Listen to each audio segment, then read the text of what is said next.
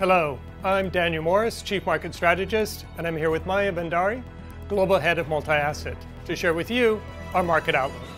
The last two months have been two of the most volatile months, if one looks at both equity and fixed income volatility, in the last decade, with the exception of the lockdowns two years ago.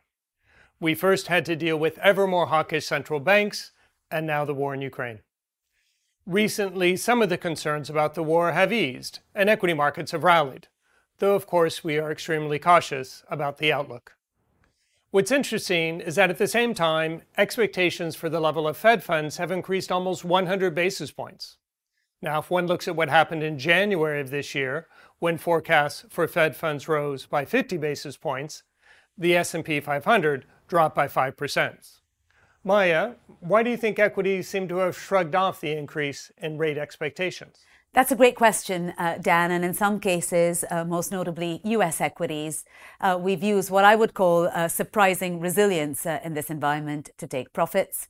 Uh, now, US equities being heavily skewed uh, towards long duration technology companies are particularly vulnerable to higher discount rates. And to be sure, I mean, if we look under the bonnet of, of a 10 year bond yield, uh, US equities have enjoyed a, a real sweet spot uh, in recent years. Uh, higher break evens or expected inflation has boosted earnings or, or cash flows, if you will. Uh, and at the same time, ultra low real yields have sharply lowered the discount rate applied to those higher earnings.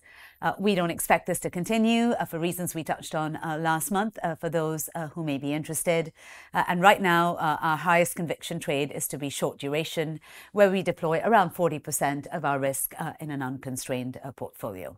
Now, more broadly, uh, valuations for US equities and frankly others uh, are also not obviously cheap. Uh, so weak performance notwithstanding, uh, you know, we're still somewhat above 10-year medians in both the S&P 500 and the NASDAQ in the upper half of historical ranges and importantly, with earnings yet to adjust lower.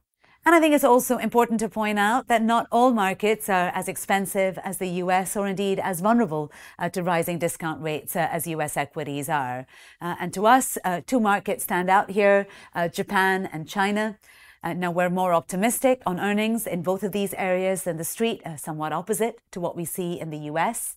Uh, valuations are clearly cheap uh, in sharp contrast to other regions. Uh, and in both cases, uh, policy is easing or staying very easy uh, as the Fed tightens. Now let's just spend a couple of a couple of seconds really on, on China, which is the area in which we have leaned into since we last met. And now Chinese equity valuations are particularly attractive, you know, more than uh, one standard deviation uh, cheaper than global equities on, on forward PE multiples. Uh, and China's uh, whatever it takes uh, policy announcement, in our view, uh, should unlock potentially meaningful re-rating, providing a fundamental trigger, if you will. Let's talk about credit a bit. We anticipate interest rates will continue to rise this year as the Fed tries to get monetary policy back to neutral.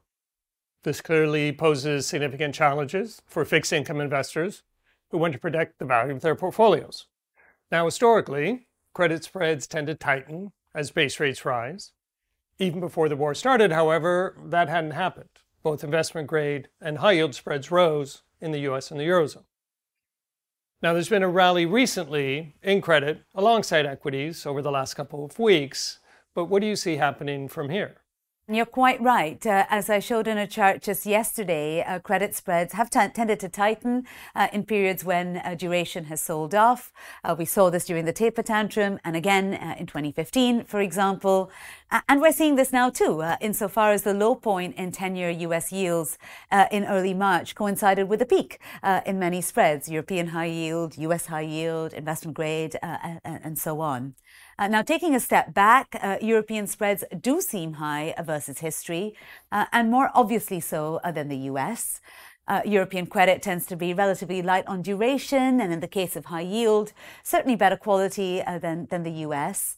Uh, technicals are more favorable too uh, than we see in the United States with, with no maturity wall in, in, high yield, for example, high cash balances and an ECB that seems better priced into spreads uh, than the Fed is. Uh, so, in fact, just yesterday, uh, we moved uh, to favor Europe over the US in, in credit.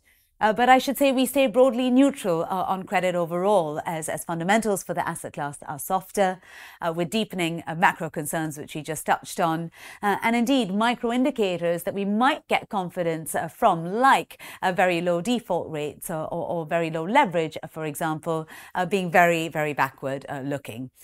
so at the moment, this is very much a relative regional call rather than a high conviction asset class view.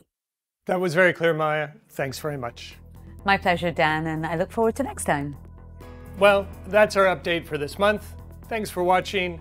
We hope you stay safe and take care.